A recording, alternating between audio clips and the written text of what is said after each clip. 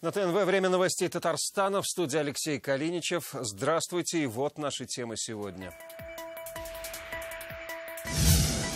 Нелетные маршруты. Ребята, давайте дорогу чистая. Из-за метели казанцы пересаживаются на общественный транспорт. Почему на другой? Просто не попасть, узнавал Рамиль Шайдулин. Свободное посещение. Из 140 детей сегодня пришли 60 детей. Кого Буран оставил дома, а кому сорвал крышу? Лена Зинатулина. У природы есть плохая погода. Рекорд за последние 140 лет от выпадения снега. Является ли метель в Казани следствием глобального потепления? Альбина Слугараева.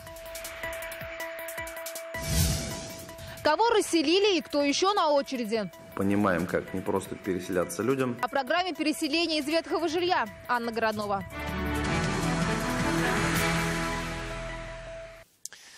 Снесены крыши, отложены авиарейсы, междугородние перевозки, отменены уроки в школах и занятия в детсадах, а 50 населенных пунктов остались без света.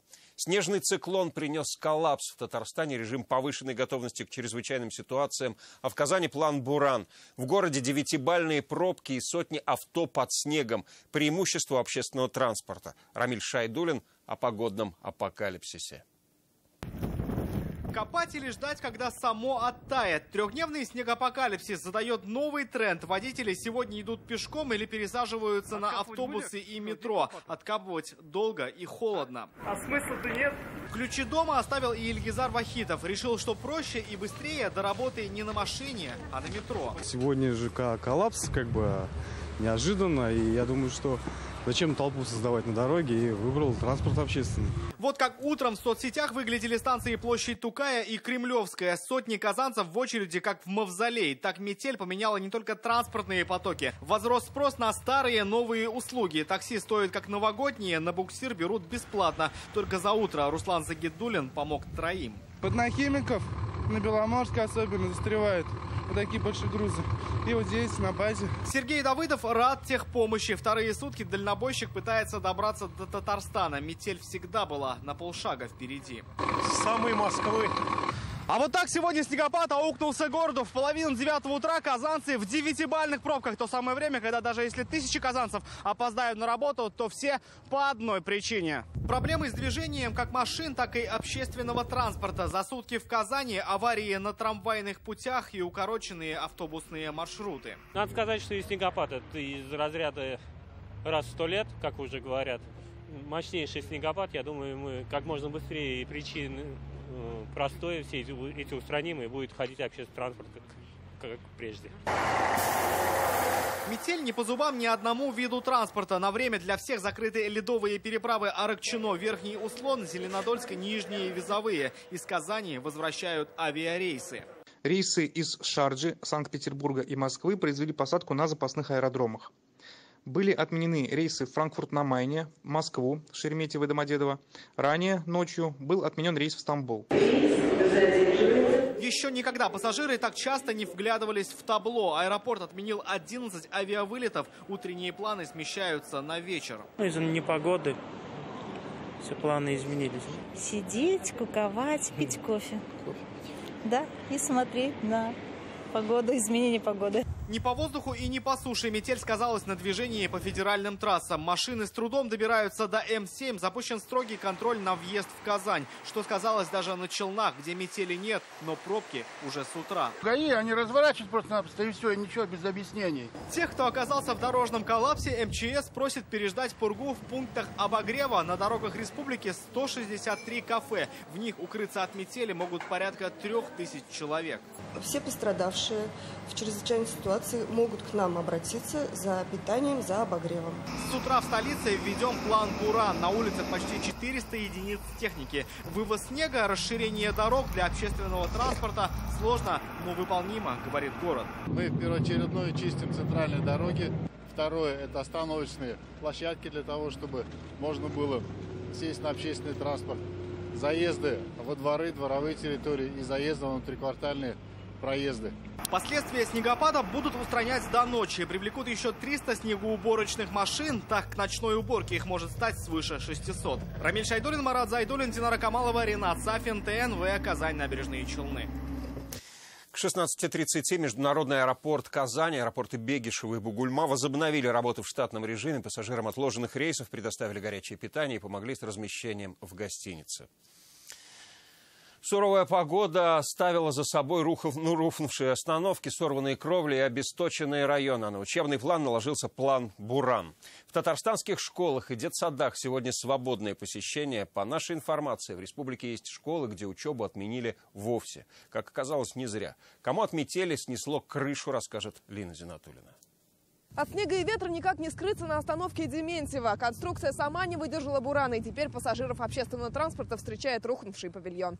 С остановкой, ну, я не знаю, надо что-то делать, ремонтировать, чтобы власти все это видели. Ремонтировать теперь придется и крытую велопарковку у энергоуниверситета, которую шквалистый ветер буквально обглодал. Благо покрытие обрушилось не на тротуар. Приходится принимать осторожности, конечно, никуда не денешься. Сегодняшний день можно принимать как стихийное бедствие. Э, надо пониманием относиться. От упавших дорожных знаков до сорванных крыш. В Кукмаре ветром снесло 40 квадратных метров кровли с родильного корпуса ЦРБ. Обошлось без пострадавших. А вот без массовых повреждений электросетей день не прошел. По данным МЧС, уже на 10 утра обесточены были часть жителей сразу 11 районов республики. Это Кайбецкий, Камско-Устинский, Зеленодольский, Высокогорский, Пестричинский, Арский и другие. Произошло отключение электроэнергии э, в 72 населенных пунктах э, с населением более 15 тысяч человек. На проблемные участки отправили 36 бригад рабочих и столько же единиц техники. Под руководством круглосуточного штаба сетевой компании к 4 часам дня аварии были ликвидированы во всех районах. дальше пишем. День разгула стихии объявили в казанских школах днем свободного посещения. В первом А за партами расселись по одному, в классе меньше половины учеников. Только 13 из 28 первоклашек родители решились привести в школу. У нас дети э, в основном живут далеко, поэтому отсутствующие именно по этой причине. И если с учетом старшеклассников две трети учеников все же сегодня на уроках, в детсаду практически индивидуальные занятия. Из 23 малышей в группе только шестеро. Из 140 детей сегодня пришли 60 детей, но все равно садик работает, все готовы принять. В половине районов республики сегодня также полностью отменили выезд школьных автобусов. Режим свободного посещения объявлен на сутки. Завтра школьников ждет обычный учебный день, который, по прогнозам синоптиков, уже не принесет погодных сюрпризов. Лина Знатульна, Рамзель Гарипов, Рамиль Гарифулин, ТНВ, Казань, Тюльчинский район. В 17.30 в Центре управления в кризисных ситуациях МЧС прошел оперативный штаб. Как здесь доложили, ситуация на дорогах из-за непогоды стабилизируется, существенных автомобильных заторов нет. На федеральных и республиканских трассах работают 761 единица снегоуборочной техники. Улицы Казани убирают 444 машины. По-прежнему на трассах в режиме полной готовности работают 163 стационарных пункта обогрева. Дороги основные магистрали, они еще в проезжем состоянии, а вот э, уже малые такие улицы, да, они, может быть, не полностью очищены, но работа идет. Вот по городу Казани, по докладам, на данный момент у нас более 400 единиц техники задействовано. С 19 часов наступает ночная смена, и уже я думаю, что все-таки надеемся, что э, за в течение этой ночи э, основные дороги, да, по которым ездят, э, будут убраны. У стихии уже есть жертвы. Под снежной лавиной в Чистопольском районе погиб 15-летний подросток. После школы он гулял с друзьями вдоль оврага, оступился и упал на дно. За ним снежный вал. Одноклассники смогли отыскать его под завалом, когда мальчик уже не дышал. Прибывшие на место врачи скорой констатировали смерть. Следком начал доследственную проверку. Подросток, поднимаясь на гору, из-за этого поднятия произошел исход лавины. Поэтому это можно считать как несчастный случай. Но в настоящий момент производится проверка, опрашиваются жители села, опрашиваются родители и, и учителя в школе.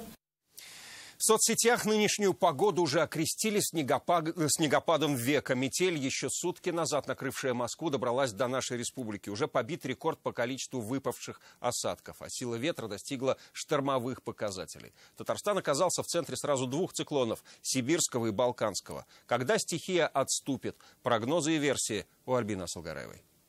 140 лет Казань не видела такого снегопада. За ночь выпала месячная норма осадков. Такое же случалось в 45-м, 79-м и 90-х годах. Но даже тогда метель не была такой неожиданной и сильной. Мощный, э, обширный антициклон, так называемый сибиряк. Но синоптики знали, что метель с особой силой обрушится на Казань и западную часть республики. Около 30 сантиметров снега за ночь, сила ветра 20 метров в секунду. Все это рекордные показатели. На карте видно, как территорию над республикой делят два циклона. Связано с выходом э, глубокого э, циклона на европейскую территорию России, с одной стороны, с другой стороны, значит, э, Западная Сибирь и Придурали во власти обширного и мощного антициклона. Природные аномалии по всему миру. Так небывалое наводнение накрыло Францию. Такого стихийного бедствия здесь не видели никогда. В Таиланде неожиданно начался сезон дождей. Ростуризм обеспокоен. В Астане суровый мороз. Казахстане температура упала до минус 50. Животные на улицах погибли от резких заморозков, непривычных для Средней Азии. В Китае замерз 30-метровый водопад. Здесь также аномальные холода.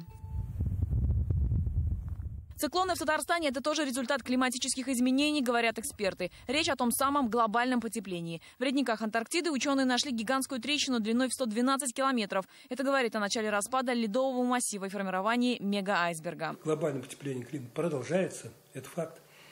Считается, что глобальное потепление опасно не только тем, что температура растут, это не страшно, средняя температура, а тем, что учащаются экстремальные события. Есть во всех этих минусах и один плюс – греет мысль о том, что уже завтра циклоны отступят окончательно, и больше их повторения синоптики не ожидают. Февраль будет в меру снежным и более теплым, чем обычно. Термометры в среднем опустятся до минус 9. Альбина Слогараева, Александр Лобанов, ТНВ, Казань.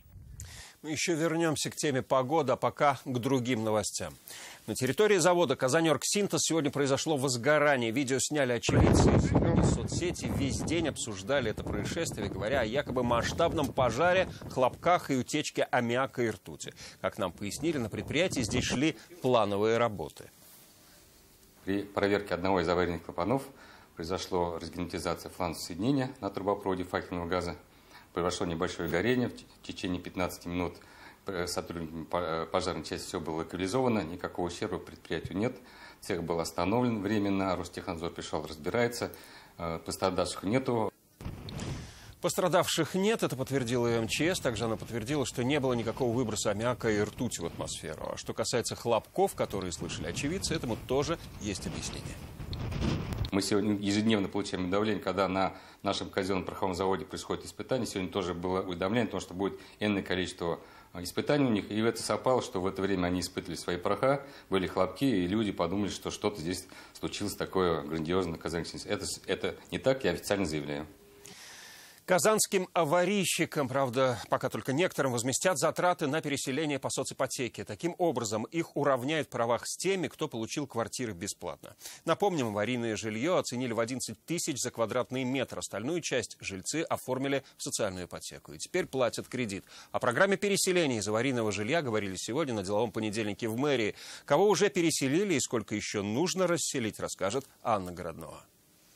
Засоренное, все ржавое, все дрянское. Дому на Побежимова 62 года. Софья Яушева только и успевает латать дыры в коммунальной квартире. Пусть нам дают новые квартиры, а это пусть ломают. Дом в списке аварийных с 2010 года, но жильцы через суд доказали, статус получен незаслуженно и добились того, что его вывели из программы. Собственники не согласились с условиями, на которых выкупали их квартиры – 11 тысяч за квадратный метр. Михаил Тютиков, многодетный отец, посчитал, что за новое жилье ему нужно было бы доплачивать 2,5 миллиона рублей. Он действительно старый, но мы гораздо лучше останемся здесь жить, чем долговую яму там по, не знаю, по 3 миллиона каждый залезет. Выселяют на улицу, выбрасывают нас. И до конца своей жизни даже наши дети, внуки будут потом расплачиваться за эти квартиры. А зачем это надо, когда у нас вполне достойные квартиры? Жильцы еще 13 домов в Казани вышли из программы переселения. Они предоставили техническое заключение, что в их доме возможен капремонт. Миргасовский же дом на улице Дзержинского объект культурного наследия подлежит реставрации. Но жильцов все равно расселяют через суд. 53 семьи согласились переехать с квартиры на Гафури и в Салават-Купере. Остальные 27 отказываются уезжать из центра. Говоря, для них это стресс. Но э, мы, принимая решение, во-первых, мы выполняли решение, которое и ставилось задача президентом страны Владимиром Владимировичем Путиным. Соответствующие ресурсы были под это выделены и федеральные, и республиканские. И в аварийном жилье небезопасна жизнь. Тем, кто согласился и продал аварийный квадратный метр за 11 тысяч, а остальную часть взял в соципотеку, возможно, компенсируют разницу. Конкретных сроков пока не называют. Предполагается выделение средств из республиканского бюджета, насколько я знаю. Город выделить эти средства не имеет возможности, поскольку там права граждан, права собственности уже прекращены. За время программы улучшили свои жилищные условия более двух тысяч семей. Это жильцы 151 дома, которые включили в программу до 2012 года. На их расселение из бюджетов разных уровней выделили более полутора миллиардов рублей. Программа переселения из аварийного жилья в Казани завершена, но в столице остаются еще 63 ветхих дома, а это 644 семьи. Их судьба еще не решена. Нужна новая программа и помощь федерального центра. Анна Городнова, Ильшат Мухаметов, ТНВ, Казань. Вы смотрите новости Татарстана и вот о чем далее. Теплоснабжение и расхождение. Мы направим, по крайней мере, все замечания, которые считаем правильными и нужными. О чем поспорили на публичных слушаниях, узнал Дмитрий Аренин. О театре и интернет-блогах. Это точно то же самое, что врач. Он не лезет к здоровым. В гостях у двукратного обладателя «Золотого пера» побывал Салават Мухмадулян.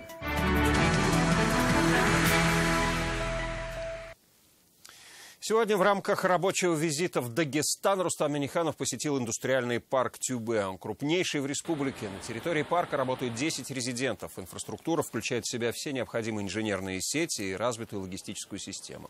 Потенциальным инвесторам предлагают льготные налоговые условия. Рустам Миниханов ознакомился с работой двух основных предприятий парка – Каспийского завода листового стекла и завода керамической плитки «Мараби». Президент выразил уверенность, что товары, производимые резидентами парка, будут иметь спрос и в Татарстане. И команда, которая работает. А, неплохие два предприятия по стеклу и по плитке. Надо отдать должное. Особенно вот по стеклу, он, там команда профессиональная, а по плитке начинают, но надо как-то... Идея хорошая, надо ее реализовать. Кто будет поставлять тепло в новые микрорайоны Казани? Сколько будет стоить это тепло? Сегодня в столице прошли публичные слушания по новой схеме теплоснабжения города. Она будет действовать до 2033 года. Привлеченные разработчики озвучили несколько вариантов и назвали оптимальной.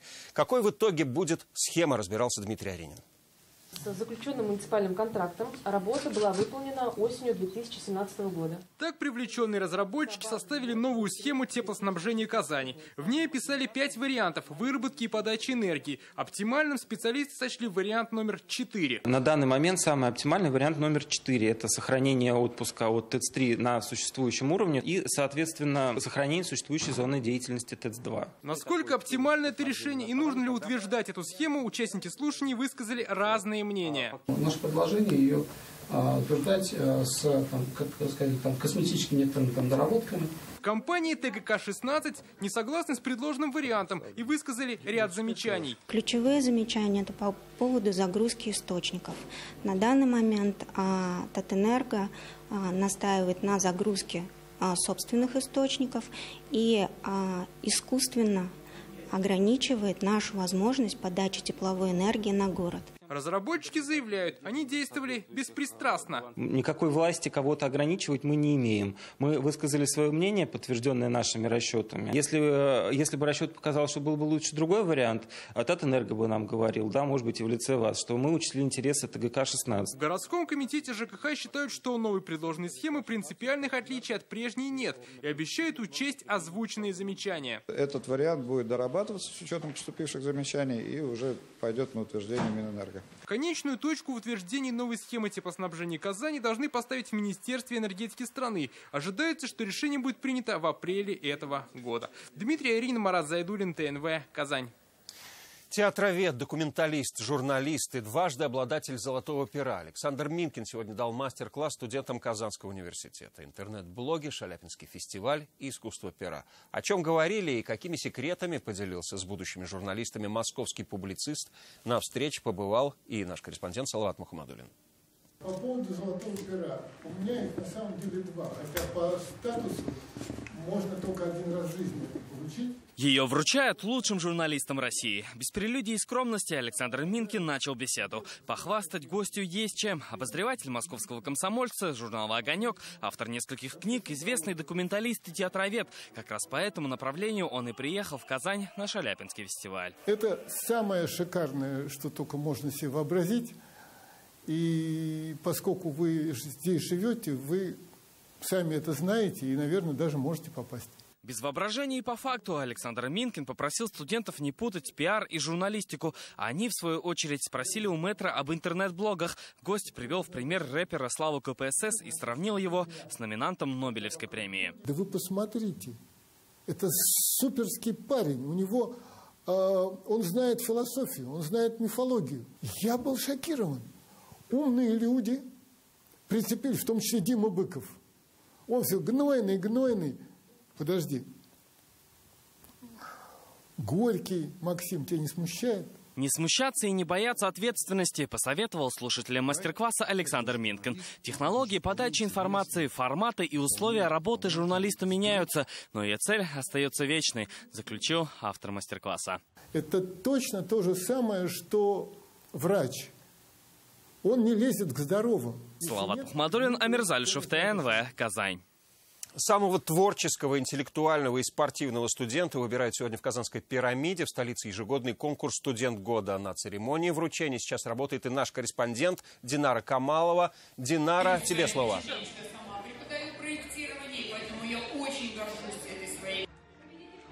Добрый день, Алексей. В зале полторы тысячи человек, и все они в ожидании итогов главного конкурса «Студенчество. Студент года 2017». Напомним, что «Студент года» проходит уже в 13 раз, и нам удалось пообщаться э, с теми, чьи имена уже были произнесены со сцены, э, и с главным победителем прошлого года Нафисом Сарисидиновым, который теперь может учиться э, в, любой, э, в любом университете мира. Послушаем. Я готовился предметно э, для данного конкурса и таким образом презентовал все свои успехи и достижения жюри, а они уже решили, кто из э, номинантов являлся сильнейшим. К счастью, это был я. А я для себя определил вуз Сингапурский национальный государственный университет, и сейчас как раз-таки подтягиваю английский. Сингапур – это страна, где сосредоточена вся, так скажем, мировая экономика, банки. Следует отметить, что в призы в первых номинациях студенты получили из рук министра образования и науки Рафиса Бурганова. Среди почетных гостей ждут и Фарида Мухаммедшина, председателя Госсовета Республики. Всего же в этом году приняли участие порядка 380 студентов. Алексей, на этом у меня все.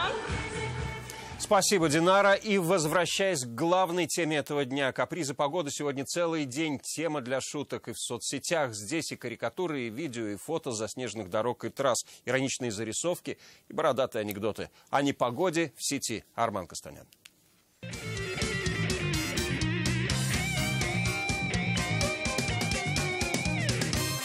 Внимание, внимание, это спецвыпуск в сети. Хотя нет, это, наверное, экстренный выпуск в сети. Хотя тоже нет. А, точно, это снежный выпуск в сети. Короче, замело, все замело. Дороги, дома, весь город. Ну и, конечно же, первым, что делали жители Татарстана, выкладывали фото и видео. Кто-то выкладывал довольные фотографии с подписью «Когда тебе никуда не надо». А кто-то грустные фото с пробками, сугробами.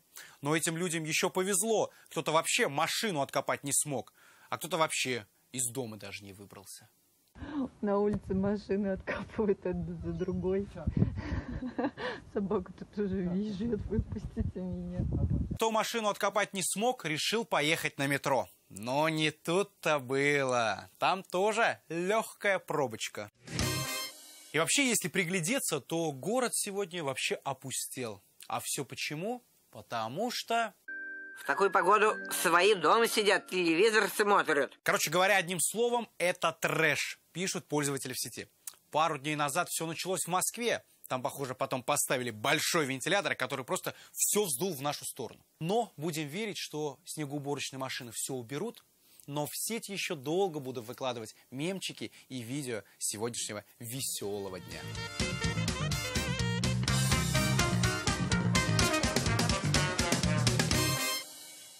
Итак, чего же ждать от погоды и какие новости спорта? Об этом в продолжении выпуска. Я прощаюсь с вами до вечернего. Он выйдет 21.30. До встречи.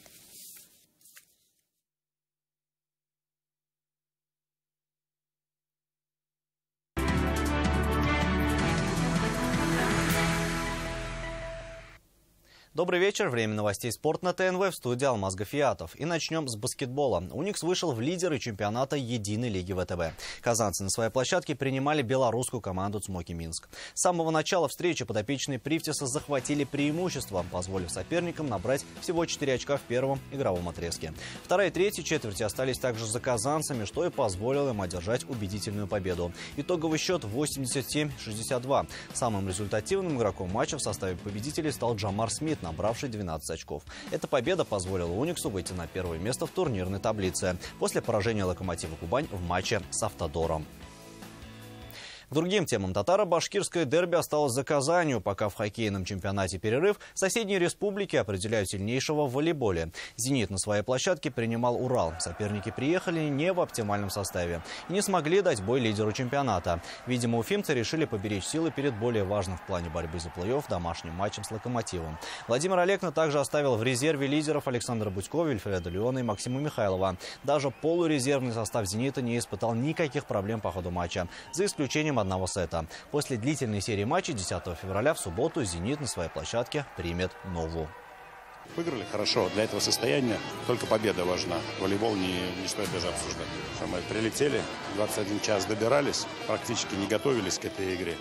Как готовились, так и играли. Спортсменка из Татарстана Марта Мартьянова одержала победу на этапе Кубка мира по фехтованию. В Алжире женская сборная России выиграла командный турнир. Кроме этого, татарстанские спортсмены завоевали 6 медалей на Кубке России по прыжкам в воду. Турнир состоялся в Челябинске. В нем приняли участие 125 спортсменов из 13 регионов страны. Никита Шлейкер завоевал третье место в прыжках с вышки и второе в прыжках с трехметрового трамплина.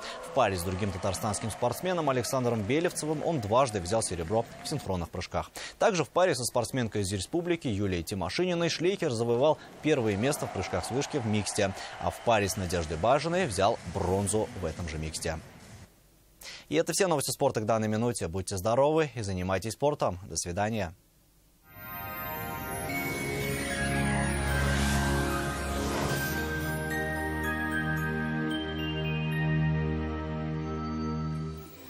Здравствуйте. Теплый атмосферный фронт принес в Татарстан не только потепление, но и сильные ветра и обильные осадки в виде снега и ледяного дождя. Подробнее о погоде после полезной информации.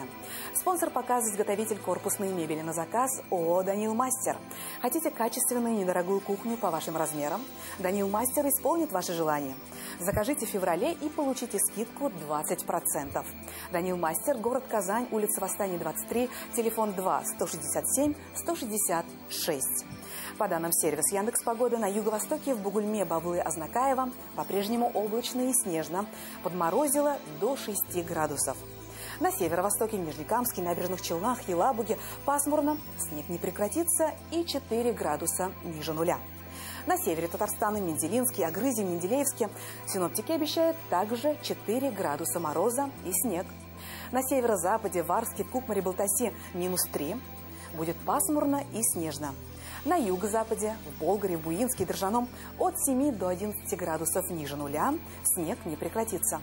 В центральных районах в Чистополе, Альметьевске, Мамадыше будет пасмурно, снежно и 3 градуса ниже нуля.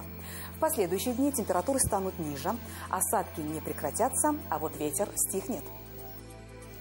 Казани пасмурно, пройдет снег и 4-6 градусов ниже нуля. Ветер западный умеренный до 2 метров в секунду. Атмосферное давление 764 миллиметра ртутного столба, влажность воздуха 89%. На дорогах снежные заносы, будьте предельно внимательны. До свидания.